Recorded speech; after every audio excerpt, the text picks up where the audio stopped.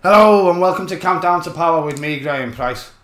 The Tories aren't particularly smart as the last 14 years have shown, but they are devious, determined and desperate and they're going to do everything they can to stop you from voting. We know that they have no respect whatsoever for truth, decency or honesty and Jacob Rees-Mogg forgot where he was and accidentally admitted in an interview last year that the point of introducing voter ID was to suppress the votes of those they know will never vote Tory. He also admitted that it hadn't really worked at last year's local elections. Despite the Tories deliberately doing that absolute minimum amount of informing the public that they could legally get away with, enough centre and left-wing sources talked about it enough that it didn't make as huge a difference as the nasty party thought it would. Let's just have a little look at voter ID and voter fraud, or the lack thereof, and I'll let you know how you can get around needing to have official ID if, like me, you haven't got a passport or a driving licence at the moment. Right after this. Hey, sorry to interrupt, just a quick interjection. The best way to help the channel and beat the algorithms is to hit the like button, leave a comment when we're done and subscribe if you haven't already. If you really want to help the channel then hit the join button below or make a donation through PayPal or buy me a coffee. The links are in the description box. It's all very much appreciated indeed. Thank you. I don't think a lot of people realise just how corrupt and authoritarian the Conservative Party are, let alone how deliberately dishonest and deceptive. They rely on apathy, ignorance, populism and deceit to maintain their power, and until just a couple of years ago, it was working perfectly, helped in no small part by an utterly biased and subjugated media. It's always been the case that people expect politicians to be a bit loose with the truth depending on what they're campaigning for. But the current government is a whole new level of dishonesty and arrogance. You only have to look at literally any interview Kemi Badenoch has done to see an example. She behaves as if she genuinely believes that journalists shouldn't have the right to challenge anything she says and is visibly offended by being asked any difficult questions. To introduce voting ID in the way they did brought a whole new level of blatant disrespect for democracy and the people of this nation. That they've been allowed to get away with it is shocking in itself, but the way they've set it up and the reasons they've given for it really do show that they deeply believe that you are stupid. There's only one answer they can really give when asked why they've taken such a dramatic step. They claim it's to prevent voter fraud but anybody who looks at their evidence for that claim with any level of critical thinking can see that it's absolute bollocks. The Electoral Commission keeps records of any alleged voter fraud and the subsequent investigation and outcome. Let's have a little look at the 2019 general election where 47 million people were registered to vote and there was a turnout of just under 70%. How many people do you think were reported for voter fraud in that election? 5,000? 1,000? 164. And that's just allegations, not convictions. Of those 164, only four were actually taken any further. Of those four, two were given cautions.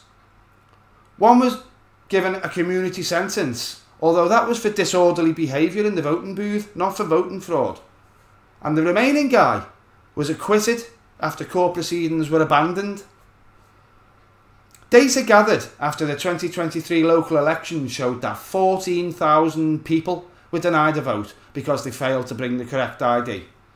The Conservatives denied 14,000 people a vote on the premise that they desperately needed to stop less people than would fit in a decent sized car from maybe possibly committing some sort of possible voter fraud that would have had no, no effect whatsoever on the actual outcome of the election.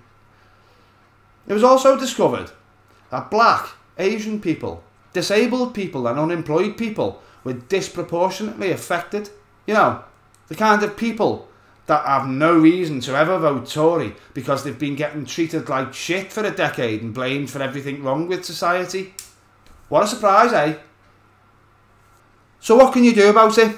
Well, not an awful lot really. Take one look at the list of accepted ID and you can immediately see what it's all about and it certainly isn't election fraud. An older person's bus pass can be used as ID, But somebody who's in college or university, their bus pass can't be used as ID. In London, an Oyster card that's been issued to somebody who's over 60 years of age can be used as ID. But an Oyster card that's been issued to somebody under 60 years of age can't. I might be wrong, but I haven't seen a single journalist take a Tory MP to task about this. But anyway, maybe the whole voter suppression thing is a subject for a video all of its own, and I don't want this one to be too long. If you haven't got a passport or a driving licence or any of the other forms of accepted ID, it doesn't mean that you can't vote. What you need to do is get a voter authority certificate from your local council. They aren't allowed to charge you for it because that would mean that you're being charged to vote and they're not allowed to do that at the moment anyway. Give the Tories another term and they'll probably wangle it. All you actually need is a clear picture of yourself, the kind that you take for a passport. You can do it on your phone, you don't need to go and use one of those horrible little booths in a, in a chemist or in a supermarket or anything. And your national insurance number.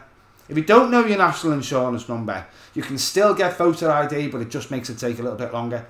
Your local council will have its own systems in place, but you can get started, if you want to, at the gov.uk site, which I've linked in the description box below.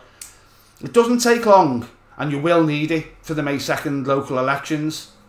You'll be wanting to go along and at least try to reduce the amount of right-wing conservative nutters on your local council, won't you? Small victories, eh? Thank you for watching if you've gotten this far. It always means a lot to me and it does help if you watch the video to the end. I'm hoping to do a lot more videos like this one when the election campaign actually starts and if it means just a few people go out and vote that might not have done so otherwise, then I'll consider that a success. Unless they're voting Tory, of course. The best way to help the channel is hit the like button, subscribe and ring the bell if you haven't already. If you do want to go a bit further, then there's links to PayPal and Patreon and the Buy Me a Coffee page in the description box below, or you can hit the join button for memberships. If you're struggling with any aspect whatsoever of getting your voter authority certificate, leave a comment or send me a message and I'll do my best to help you if I can. Just make sure, whatever you do, don't let the Tories steal your vote and deny your voice. Let's not let their underhanded tricks stand in the way of our countdown to power.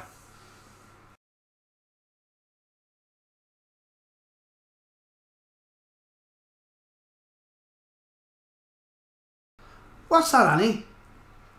You think I should make a video telling everybody how to get a voter authority certificate? I think you might be right there, love. Let's crack on with it.